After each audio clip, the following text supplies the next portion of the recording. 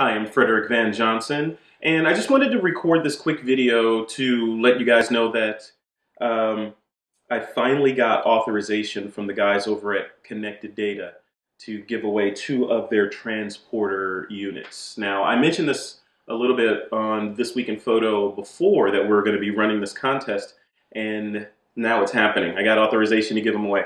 Now, I'm not giving these two away. These are mine but I'm giving away the uh, I'm giving away two like this. So connected data, whoever wins this contest will connected data will ship these to you directly. So quickly, what is the transporter and what is this crazy looking device? So what it is is the easiest way to think about it, I think, is to look at it as a your own personal Dropbox, right? So everyone knows what generally everyone knows what Dropbox is. It's storage in the cloud that you drag and drop files on it and it's away from your computer you can share those files with other people. This does the same thing, only with the added benefit of it lives in your house.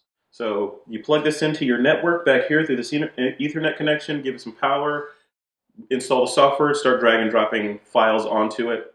They're in the cloud. You can access them from wherever you happen to be. You don't have to be at this device. You can unplug your, you know, take your laptop out and still connect to the files that are on this. Really, really cool. But where it starts to get really interesting is when you take this device, which by the way, I mean, it looks cool like this, but it's very simple. You know, you take it off, there's the uh, there's a hard drive, a laptop hard drive inside of it, and uh, this kind of goes on the top. This ring here lights up to, it's kind of the indicator. It's the way the, the transporter lets you know what's going on with it. When all is good, it kind of glows green. When it's transferring data, it does different things. When something's wrong, like it can't get on the network for some reason or whatever, it turns red. So it's very high-tech looking. But like I was saying, where it gets interesting is when you introduce additional transporters into the mix. So why does that why is that interesting? So if I have this one, say in my home office upstairs, and I take this one and I put it at a friend's house, all the data that I put on this one is replicated over here, right? And I can, of course, I can secure this so they can't see what my data is, or I can leave it open so we can share data back and forth. But the positive or the the cool thing about that is if something happens to my house or somebody breaks in or something happens and this goes away, all my data is still over here. So I'm, I'm safe. Really starts to get interesting when you add multiple of these transporters to the mix. So say you're a business organization, so say like TWIP, like for example, we record This Week in Photo and there's a number of people that need access to the files after we record the show. So it's not just me, it's people that are writing the show notes, there are people that are editing the show down, the, you know, all this stuff, all these different people that are all over the world need access to the files after we record the show. So what we could do is we could outfit each one of them with a transporter now. And once I finish, I drag and drop the files onto this transporter and magically they just distribute out to everyone else's machine, kind of like what Dropbox does. But the cool thing is when you think about it, if when you use Dropbox for an implementation like that and you drag and drop files on there, you're waiting until the file uploads to Dropbox. When it's there, then you can let everyone know, hey, there's a new file there, go download it, or go to your Dropbox folder and pull it down. In this case, when I copy the file over to this, because it's local, it's on my local network, when I copy the file over to this, it zips over, it's on this, and then I can unplug, I can shut down my computer and take off and go about my day.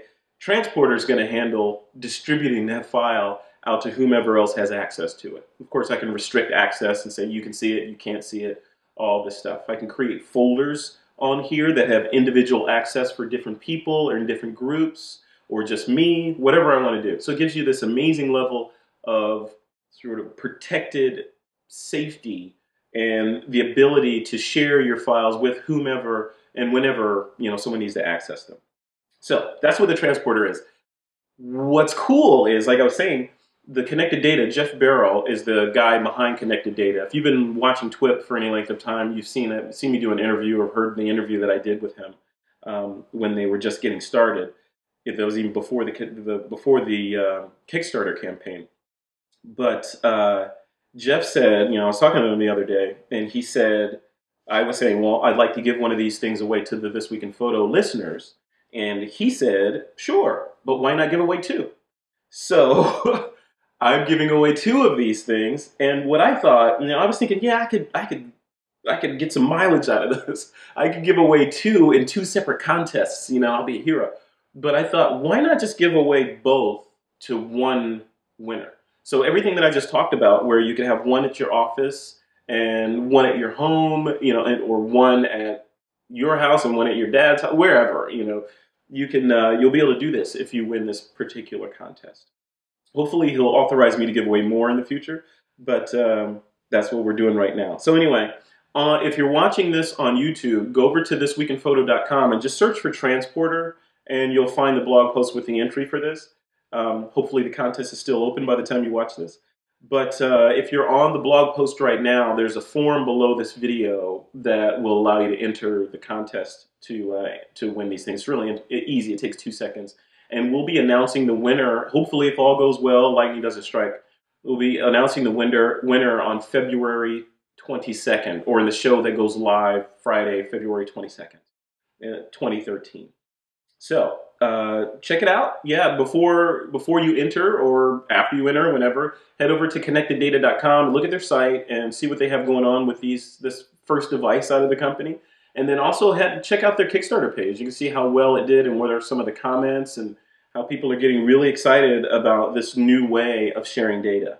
Anyway, that's it. Just wanted to record this quick video, to let you know that the contest is out, and I'm giving two of these babies away. Connected Data will be shipping these directly to you. Not these, but one's very similar to, to my babies right here. Anyway, that's it. Hope you're having a great day, and uh, see you on Twitter.